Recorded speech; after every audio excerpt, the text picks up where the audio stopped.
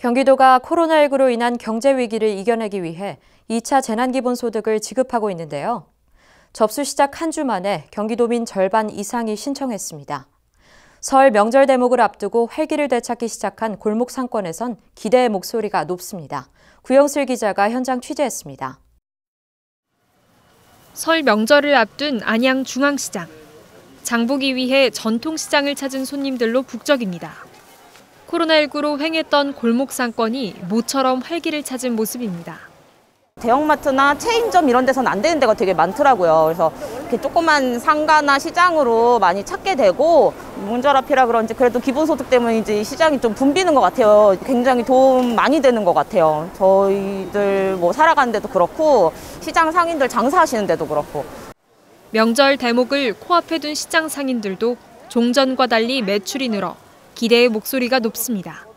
코로나 때문에 많이 힘들었는데 전보다 매출이 조금 증가하고 있어요. 재난소득도 많이 사용되고 있고 네. 실제로 재난소득 많이 카드로 긁고 있습니다. 예, 명절 앞두고 손님 많이 오실 걸 기대하고 있습니다. 예. 경기도가 코로나19로 인한 경제 위기를 이겨내기 위해 10만 원씩 지급한 2차 재난기본소득으로 연매출 10억 원 이하 경기 지역 화폐 사용 가능 업소에서만 쓸 수 있어서 골목 경제에 힘이 돼주고 있다는 반응입니다. 지난 7일까지 2차 경기도 재난기본소득을 신청한 경기도민은 약 755만 명.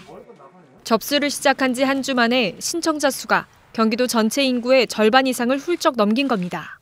경제가 살기 위해서는 지역의 소상권들도 잘 살아야 됩니다. 우리가 지역 화폐도 적극적으로 공급하고 확대하고 또 그에 맞춰서 보편 또는 선별 지원들도 또 병행하고 있어서 아, 정말 어려운 상황에서 조금이나마 여러분께 도움이 되면 좋겠습니다.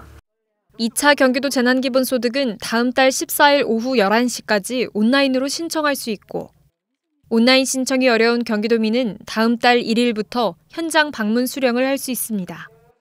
이 밖에도 온라인이나 현장 방문 수령이 어려운 취약계층은 찾아가는 신청 서비스를 받을 수 있습니다. 경기GTV 구영슬입니다.